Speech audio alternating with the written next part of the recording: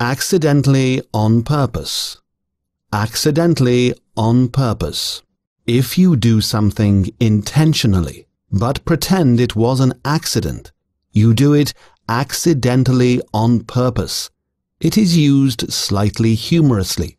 For example, I accidentally on purpose erased her email address so I couldn't contact her again.